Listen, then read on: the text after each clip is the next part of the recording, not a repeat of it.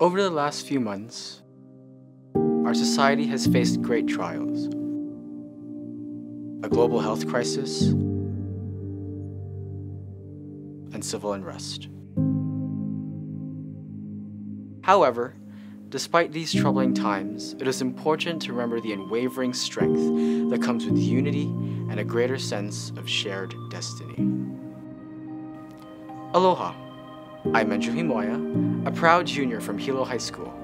I believe this year we must influence our leadership in the great Hawaiian value of lokahi. Lokahi, often referred to as teamwork, allows individual strengths to be recognized, makes us value cohesive similarities between peers, and also appreciate characteristic differences. It is during challenging times like these where lokahi or teamwork is needed the most, along with L, leadership that is decisive and ready to meet the challenges that we face every day.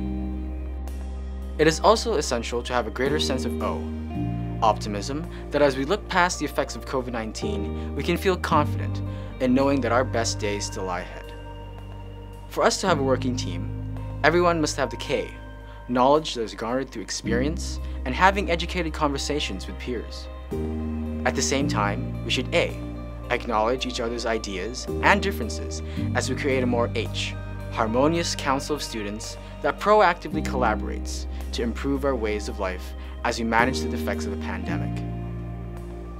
Because we cannot meet face to face, we must continue to I, innovate new ways of utilizing the resources available to us and adapting them to our daily lives. These are uncertain times, which means we must settle our differences, work alongside each other in leaps and bounds to create a better community and community at large. We can overcome the challenges of today and tomorrow if we come together with lokahi and in good faith that our best days still lie ahead.